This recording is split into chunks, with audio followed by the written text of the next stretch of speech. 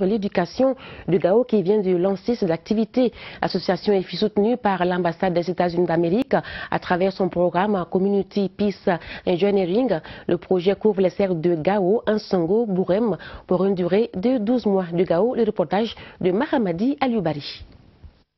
Cette cérémonie marque le lancement des activités de l'Association pour la culture, la nature et l'éducation à Gao.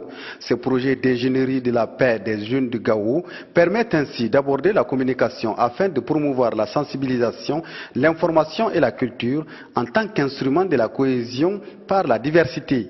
Bénéfique à environ 300 000 personnes.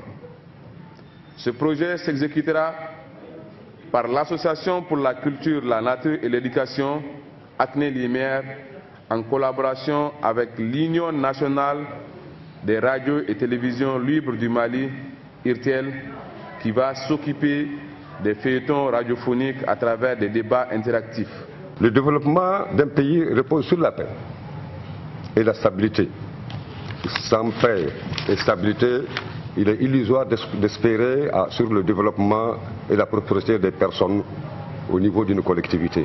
Ce programme de l'Association pour la culture, la nature et l'éducation de Gao, intitulé Community Peace Engineering, est soutenu par l'ambassade des États-Unis au Mali et vise à renforcer l'appropriation du processus de la paix afin de prévenir les dommages des forces opposées manipulables. Pourtant, protéger les valeurs et forces ces manifestations, c'est-à-dire celle de la paix et de la tolérance, devient aujourd'hui plus que jamais